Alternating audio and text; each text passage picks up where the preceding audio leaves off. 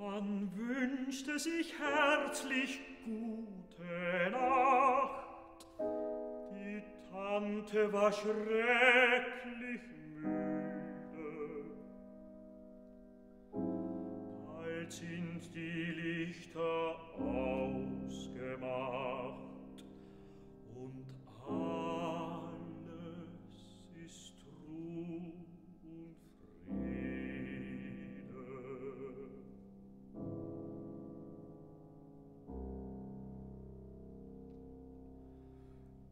Im ganzen Haus sind nur noch Zween,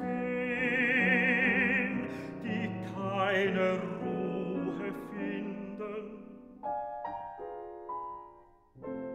Das ist der gute Vetter Eugen mit seiner Base Lucien.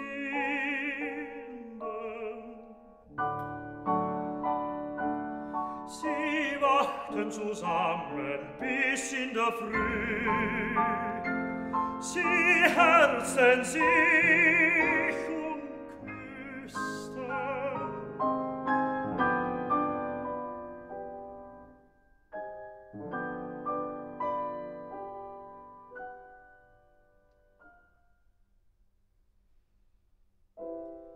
des Morgens beim Frühstück taten sie, als ob sie von nichts was wüssten.